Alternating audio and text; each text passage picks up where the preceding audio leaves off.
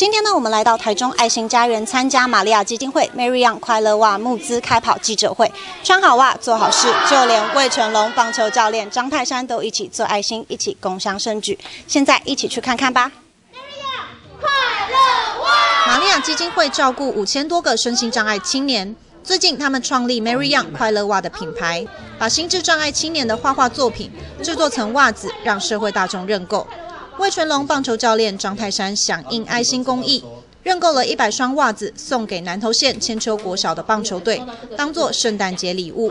二零二一年十一月三号下午，张泰山和棒球队的小朋友们特地前往台中爱心家园，跟玛利亚基金会的袜子图案创作者见面。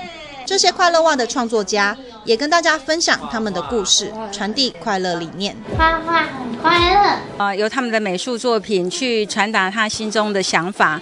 那另外的部分呢，我们也可以让更多的心智障碍者透过这个品牌的建立，而有更多的工作机会。玛利亚基金会执行长陈美玲说：“他们的袜子品牌一共有十二款样式，全部都是玛利亚青年的艺术创作，也是利用环保素材做出来的。”一双袜子等于回收两个保特瓶，还能帮这些大孩子创造更多的工作机会。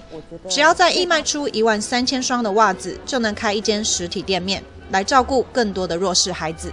虽然说他是一个啊障碍的青年，可是我觉得他们也是需要有自己的一份一片天。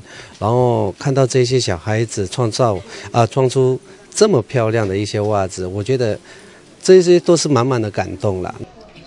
全龙棒球教练张泰山还特地穿上快乐袜跟大家见面，并且热情地跟现场的小朋友们互动。千秋国小棒球队为了感谢拿到礼物，也特别用棒球队呼来帮玛利亚基金会打气送暖。张泰山说：“一个小小的认购举动就可以帮助很多的身心障碍青年。他希望透过实际行动来抛砖引玉，鼓励大家一起来做公益。”记者陈文旭、李金生、李嘉金台中报道。你今天穿的是？考考，你刚才有没有听我们在讲？你穿的是什么？